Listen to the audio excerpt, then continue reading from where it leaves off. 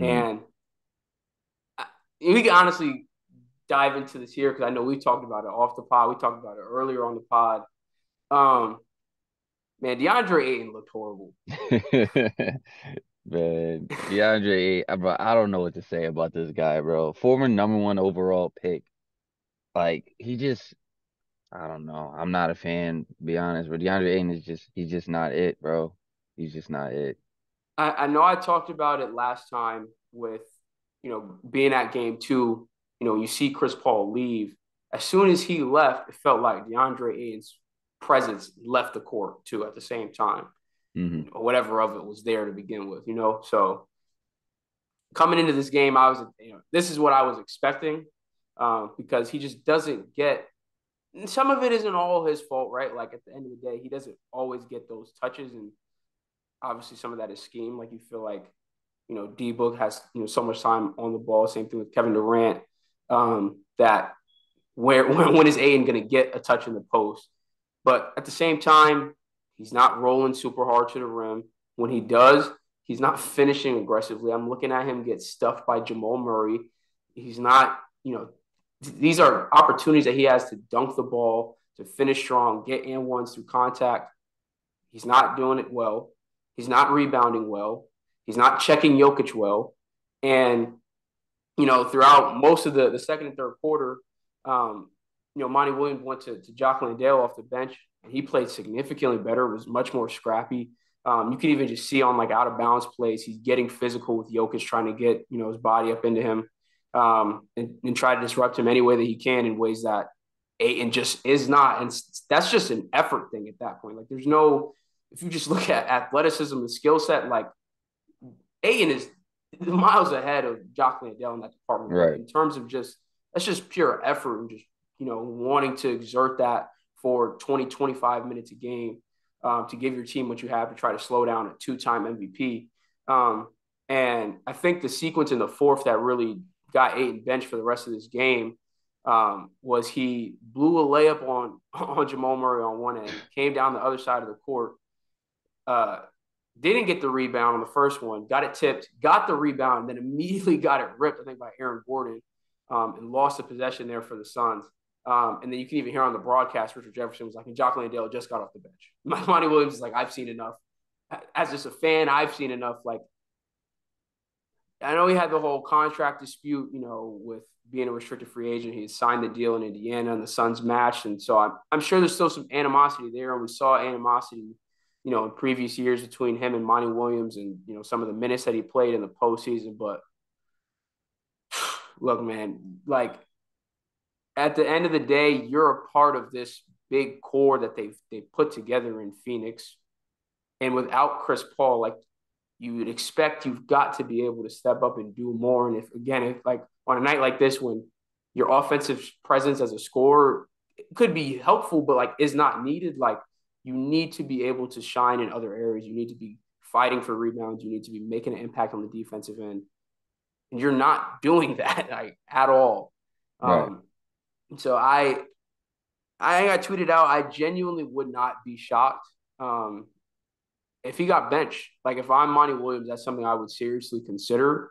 Um, because again, like I said, you don't need him to put up a ton of points. Again, it would be helpful, but you know, it feels like we're scratching and clawing for him to put up any points at all. And so um, that coupled with him being a negative right now in terms of rebounding in the defensive end, I would much rather, if I'm the Suns coach, play Jock Landale more minutes, get him up to like 30 minutes a game. Obviously, you're still going to bring in DeAndre Ayton and potentially, um, you know, Bismack as well. Um, you know, if people get into foul trouble, but um, I think he found something in those minutes there with Jock, and I'd expect to see more and potentially move him into the starting lineup because what Ayton is doing right now is not going to cut it.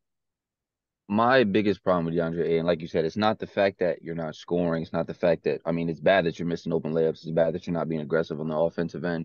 But like you said, it's the it's the fact that you're not doing the stuff that I need my big man to do. A lot of the dirty work, as far as rebounding, hustling, defending. Like I understand you're not gonna stop Jokic. Like no one's gonna stop Jokic. But I it just seems like you're out there, you're just a liability. Like you're not even really trying. Mm-hmm. Like when when you don't have we don't get the post touches as a big man. the only way you're gonna get the touches is if you go get it. If you go get those offensive rebounds, if you go get those rebounds, like they will reward you. Every every big man that hustles, that gets the offensive rebounds, that does all the dirty work, eventually you will get rewarded. And especially on this team where we only really have two scores, basically. Like if you do all dirty work, I'm pretty sure you will get rewarded on the offensive end. So that's my biggest problem with DeAndre Ayton. And it's just he seemed like he doesn't have that motor. Like he doesn't want to do that dirty work that I need my big man to do. So uh, it's real tough. Like I said, he definitely could get benched just because right now it's just what are you really bringing to the team? What are you really bringing to the table? Like it's Nothing, it's no it's yeah, it's like it's kind of pointless to have you out there right now. So I mean, I wouldn't be surprised if he got benched, especially because his history with Monty, like they butted heads a little bit. So Mhm. Um, I definitely wouldn't be surprised. It's funny too because he re- like when I watch him play, he reminds me of like Anthony Davis on his off days. Like when Anthony Davis doesn't have it going, like, but that's like DeAndre Ayton all the time. Like right. because when when AD doesn't have it going, it's like he's not really hustling for rebounds either. He still Mhm. like block shots. He plays good defense, but like him with no motor is just DeAndre Ayton, and like that's sad because, like I said, you're the former number one overall pick. Like people keep talking about this potential. Like people have been talking about his potential for years. Like I feel like But we've seen point is he gonna reach flashes of it, right? Like Yeah, that. That's yeah, it's in the their run to the finals, right? Like dominating, like that was a thing for, for you know spurts of that yeah. that playoff run. Um, and he had some huge games for them, even in the finals of that, you know, against Milwaukee. hmm Um, so it's like, bro, where did this player go? Like it felt like the progression just stopped. And if anything, you've regressed up until this point. Like again, you know, the the, the shot die is not going to be there when you add a guy like Kevin Durant, but it's the other aspects of your game just do not seem to have an as much of an impact on the floor as they should. Again, like you said, being a former number one overall pick. And at the end of the day, like with what we've seen from you in the past, like you are capable of doing it. But you have like your team needs you in these moments because they're not going to get out of the series like without him stepping up or one of the big stepping up because again like I like I alluded to earlier right like 86 combined points from your star duo and you win by 7 like Denver took all of those punches and if a couple of different things go their way down the stretch this could be a 3-0 series Right. That that's really the problem. is the fact that you like that 86 combined points was much needed. It wasn't like they needed every single one of those points to right sneak to squeak out of there with a win. So it's tough because it's like I understand you add Kevin Durant to the mix. I understand some shot like shots are gonna go his way. I understand you're gonna get um significantly less opportunities to score the basketball, but it's like I mean, like j- even if you just look at the box score, obviously you got 47, you got 39 from KD, and no one else is even in double digits. You have no Chris Paul on the floor. It's like you would think you can get opportunities to score the basketball. So I don't know. That's just I don't know. It's, it's real interesting to me how he's just a non-factor offensively and defensively. yeah and this is has been a problem that people have had with Phoenix as a whole like aside from Ayton alone right like the ball gets held up so much in D books and KD's hands, um, and even prior to KD getting there, like just Ayton just doesn't see those kinds of touches, and hmm some of that is probably like that's a you know concerted effort by you know their scheme, like they don't see him getting post touches as something that's conducive to how they want their offense to run.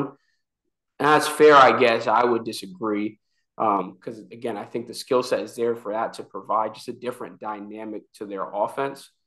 But again, with no Chris Paul, it's like his presence get, gets diminished more and more. Um, so yeah, I like they're gonna need him to step up, or I mean, I, I it's wild to say like Jock Landale to step up even more. Um, you know, for them to even get they got like, even to get game four on their home floor, like they're in danger zone every single night. Um, because even when again your stars are combining for 86 points and their D book is having like historic playoff performances, y'all are still only squeaking out wins against this Nuggets team at hmm home. Right, I, if exactly. if this game was in Denver, I don't think they win this game. No, probably not. But and that's why at this point it looks like they're probably gonna lose in five because it's you. T it takes this much of a great game from Devin Booker and Kevin Durant, even though he didn't have a an efficient night, um, he still gave you 39 points. Yep. Like just to only win by seven at home is just it, it's insane. That's why it's the Suns team just isn't it isn't a contender. It looks like right now.